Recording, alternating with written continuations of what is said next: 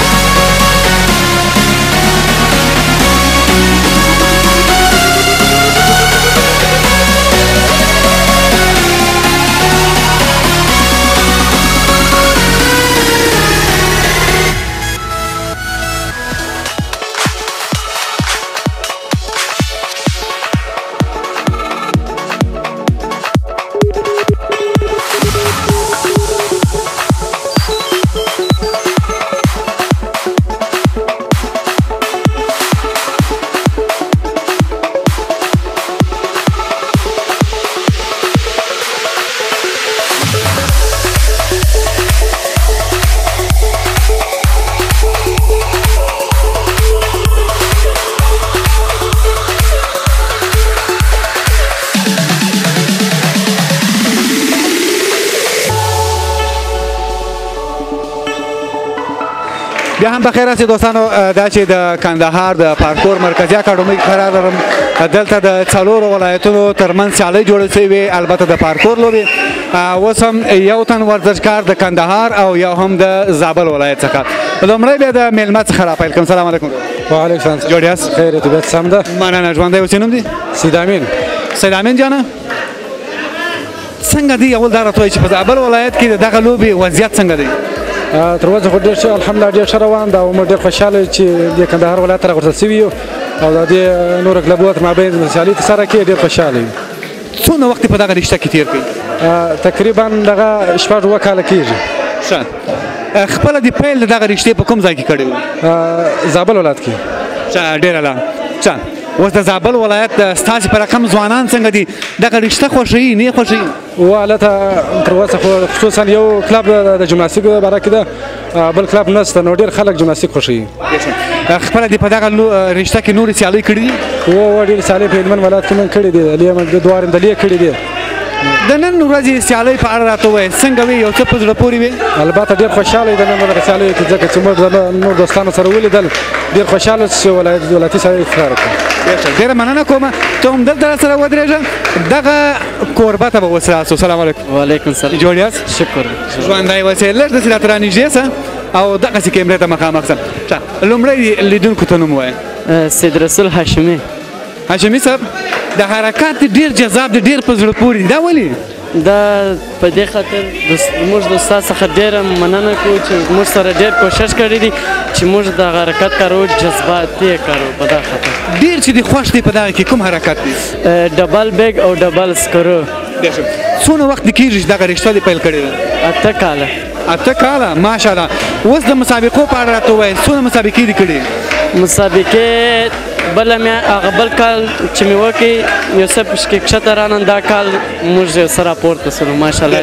د نن ورځې سیالۍ څنګه وې ستا په نظر باندې سمې وې بیخي سمې وې او زموږ د د جمیل استاد څخه یو جهان مننه کو چې دا ټوله پروګرام یې را جوړ کړي او موږ یې تشویق کړو که چیرې داسې پروګرامونه زیات شي څومره خوشاله کیږئ تاسو داسې پروګرامو ته دومره به خوشحالي موږ ته به نسی دغه او ډېر خوشحالي جذبه لري دا شان ډېره مننه کوم مننه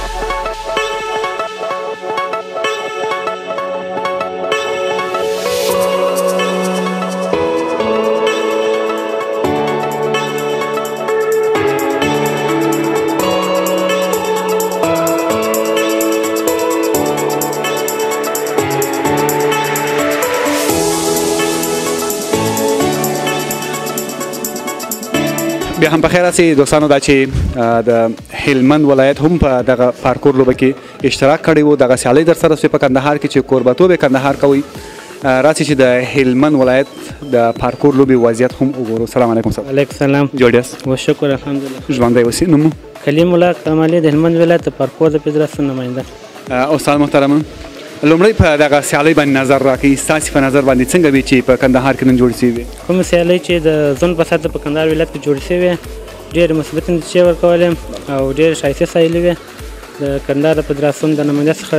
ډېره مننه کوو چې دا سیالي په لاره اچوي او موږ دعوت یې ډېر ښه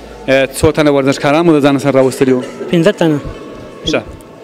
تر دغه دمه پورې په هلمند ولایت په مجموع کې د پارکور په برخه کې څومره لاسته راوړنې لري که لاسته راوړنې ته وګورو مخکې کوم فدراسیونونه چې د پارکور تېر شوي دي د هغوی کور ودان چې دا رشته هلمند ولایت ته راوړې ده او د هغو څخه چې موږ ته پاتې شوې ده موږ هم پر کلمور رشته ته ډیر خدمت کړی دی ان چې درې کسه مو سم د افغانستان په ملي ټیم کې ډیر اعلی هلته د پارکور رشتې ته کو ګورو څو فعال کلبونه لري په هلمند ولایت هلمند ولایت کې تر اوسه پورې درې کلبونه شته او څلورم کلب چې دین تر کار لاندې دی چې څه وخت کارونه تکمیل شي که چیرې په عامه ټولنه کې وګور د ځوانانو وضعیت دغه لوبي سره څنګه دی ځوانان څنګه دی دغه لوبه خوشي کنه نور رشتو د نور برخو هغه ته وګوره پارکور چې دی او آزاد رشته ده هر یو درو د شکه نسبت نور ورشتو چې وګوره هغه محدود دي حرکتونه کې کوم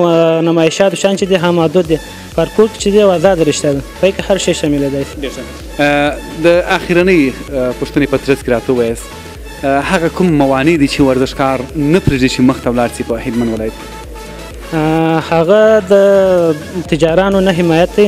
ځکه هلمند ولایت یو جنګ ځپلی ولایت دی او تجاران کوم توجه نه ورته کوي د دې څخه مې ډېره غوښتنه ده چې د هلمندي ورزشکاران تشویق کړي تر څو په افغانستان په سطح او د نړۍ په سطح ولوبېږي. ستاسې په نظر که چیرې دغه تجاران چې تاسې یادونه وکړه که چیرې ستاسې دغه رشته یا ستاسې ورزشکاران دی سپورټس کې څه فکر کوئ چې ورزشکاران به مو تر کومه سرحده ورسیږي؟ په نه امکاناتو کې چې اوس موږ کوم کار کړی دی درې تنه اوس هم افغانستان په ملي ټیم کې دي ځکه تر اوسه چې دی دوه مسابقې سوي د افغانستان په سر د پارکور چې جوړ شوی دی بنیاد یې شول شوی دی د افغانستان په سر د ملي مسابقې دوه ځایونه شول شوي چې پای کې وسم درې کس تل منځ که دې موږ حمایت وکړي او موږ امکانات برابر کړي ان شاء الله زه اطمینان ورکوم چې ډیر پرمختګونه به وسي د ولایت په سطح د افغانستان په سطح او د خارج په سطح ډیر ډیر مننه کوم استاد جوړ مننه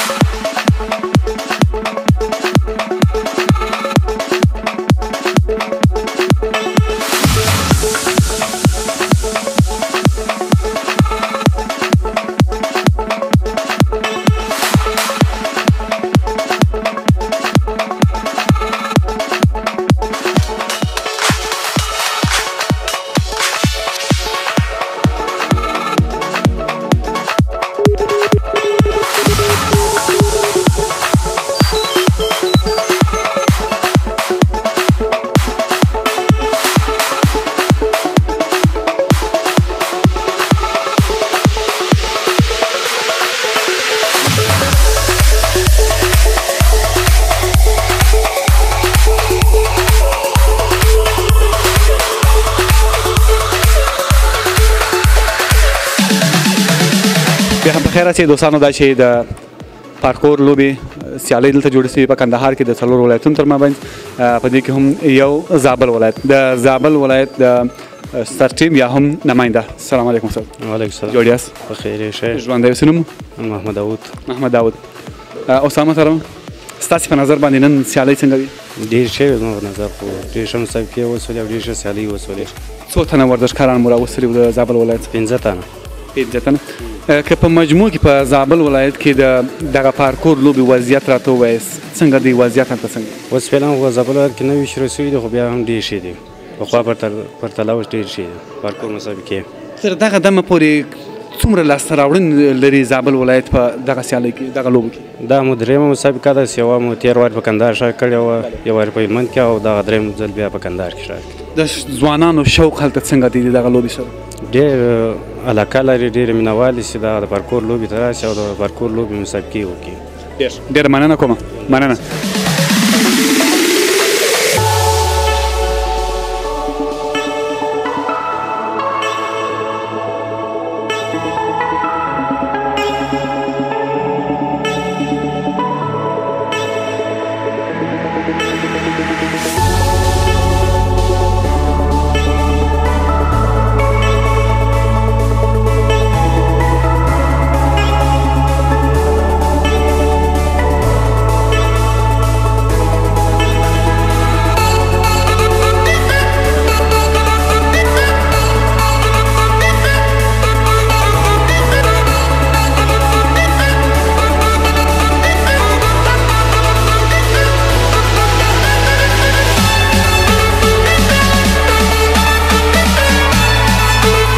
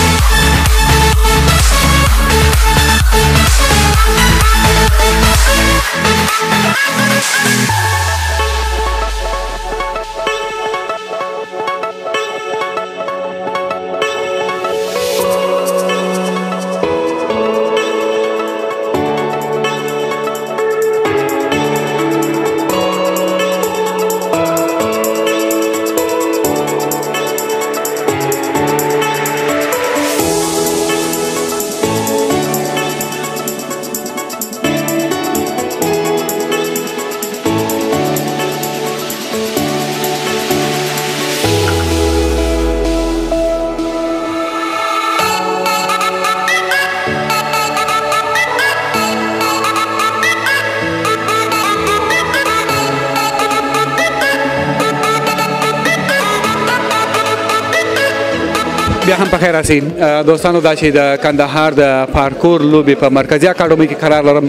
دا چې په کندهار کې د پارکور لوبي سیالي جوړې شوې البته دا فکر کوم د زون په سطح باندې وي په دې کې څلور ولایتونو اشتراک کړی و چې دغه څلور ولایتونو کوربتوب کندهار کوي سلام علیکم سلام وعلیکم سلام ستړي مسئ ډېر په خیر مننه خوشاله اوسې او سلام محترم لومړی د دغه سیالي په اړه راته وایي څنګه روانه و سیالي مو څنګه روانه ماشاءالله دا یو سره دا دوهم ځل لپاره په کندهار ولایت کې موږ د ولایتي سیالي سره نیسو تیر کال مو درې ولایت را دعوت کړی دا په څلور ولایت سول ان شاء الله دا تیر کال مو هم اول مقام خپل کی دا ولایت دا پلان هم اول مقام خپل کی دا په ان شاء الله شفاف ډول سره تر سره سول ډیر ښه که په مجموع کې راواخلو څو تنه ورزشکارانو اشتراک کړی و د 15 تنه د ولایتو و د درو ولایتو مراد آباد کړی و زموږ خپل درې ګروپ و د هر ګروپ سم 15 15 کس د کړو 15 موږ و 15 د دې درو ولایتو و انجش کس اشتراک کړی مسابقات یې وکړل ک دلته ولایتون تراسو په درجه بندي باندې ویشو اول دوهم دریم څلورم مقامونه و نو کمونه موږ انتخاب کړی دي موږ لره نمرات شان چې وکم نمرې شان چې وګرځم موږ نتایج دلته پینل مرایستل دي چې کوم ولایت څو مقام راوړی دی کوم ولایت کوم مقام راوړی دی دا به وسه تشریح کوم چې کندهار ولایت اول مقام سو هلمند ولایت دوم مقام سو زابل ولایت درې مقام سو روزګان ولایت څلورم مقام سو کومې نیمګړتیاوې وینئ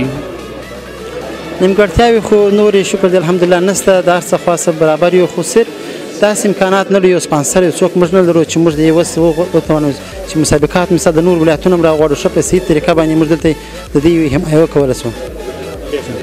د ورزشکارانو شوق او ذوق څنګه دی د نورو په ټولنه کې د عامو وګړو شوق او ذوق د دغه لوبې سره څنګه دی تر نور لوبې دا تماشچیان ډیر زیات لري ورزشکاران هم زیات دي دا لوبه چې د ډیره جذابه لوبه ده ډیر ورزشکاران یې خوشي چې هر چا دا لوبه لیدلې ده دغه لوبې ته تشویق کړي دي راغلي دي خپل ورزش شروع کړي دي دا لوبه چې د تر نور لوبې ډیر مینوال لري ډېر ښه که د اخرنۍ پوښتنې په ترڅ کې راته ووایاست